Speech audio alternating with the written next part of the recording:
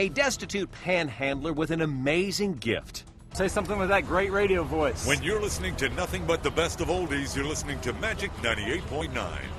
That video shot by Ohio's Columbus Dispatch has 18 million views on YouTube. Now, meet Ted Williams today. A year ago today, I was living in tents under bridges, smoking crack, doing all the, the, the wild thing. But this is where I live, man. This is where I, I got a fireplace. You know, I I can get butt naked by the fireplace. You know. Look at this big closet. A year ago, I was living out of a box, and now I have uh, five boxes now. I have a lot of lot of space here, and these are all Kathy's clothes. And, man, what a difference a year makes, and, and I just you know just God, it's a, it's a hallelujah moment every every day I wake up. Because when I come in someplace like this, this closet, I just say, man, you know, I couldn't have prayed for anything like this. I couldn't have dreamed of anything like this, and it just happened to me, and, and God, it's just un- unbelievable. In a spacious new home where his closet doubles as a recording booth, and with his girlfriend Kathy and his sober living coach Eric, Ted now enjoys the kind of life he threw away with decades of alcohol and drug abuse. Melissa, uh, Eric's uh, fiance, gave me this beautiful cake, and said, "Happy one, happy first anniversary," and it says, "Happy anniversary, Ted," and uh, you know, it says a lot in one year.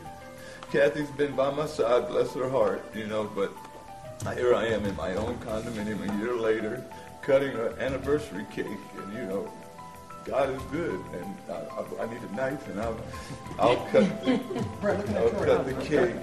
And Ted knows he has some good friends here at Studio 4. Thank you so much, Entertainment Tonight. Yes, we were humbled to say we helped Ted rise up after he had fallen so far.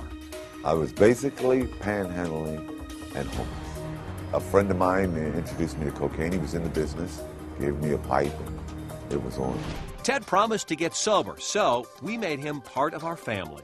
Now, the latest celebrity headlines from around the world. Soon, he even became a voice for Kraft Foods.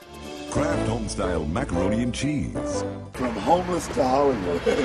We all knew Ted had to kick his addictions. ET staffers, including supervising producer Amy Purnell and senior news producer Jeffrey Wilson, put their lives on hold to guide Ted into rehab.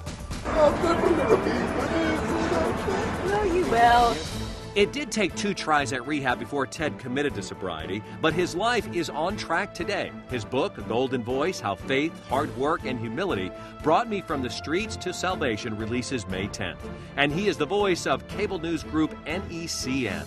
I'm so proud and so privileged and so grateful to have this opportunity. What a difference a year makes, and, and I just, you know, just, God, it's a, it's a hallelujah moment every, every day I wake up.